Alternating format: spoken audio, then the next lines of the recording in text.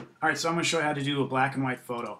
Um, it all depends on what you're trying to get out of it. You know, um, some people do higher contrast black and whites. Other people do uh, darker darks.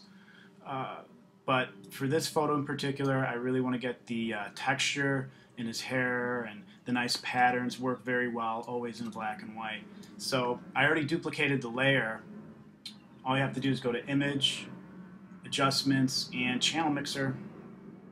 Go to Monochrome. I want to adjust uh, the lighting a bit, so I go to my adjustment layer here at the bottom and select Curves. I usually start in the middle here, and uh, that gets the mids, and then down here gets the darks. And let's see here, we'll go up the top and boost out the brights. You can kind of see it helps push out that texture a little bit more in his face. And then um, literally, I mean, you can you can count this as done, but as added little touches, uh, I like to add just a few things to push things out a bit more. So I'm just gonna merge those layers and duplicate this. Go to Filter, Other, and high pass. And it's really starting, it kind of outlines all these highlights and stuff. So we want to do about 17.3 is good.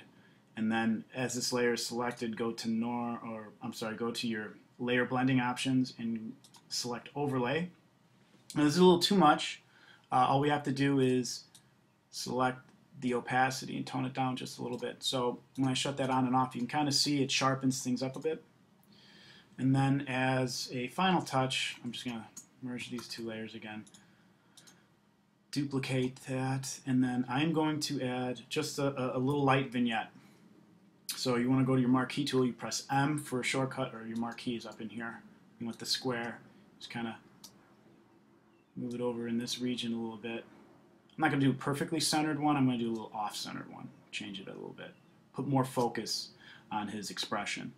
Um, I'm going to right-click. Important, you want to add a feather. This is a large image, so 250 pixels will work out just fine.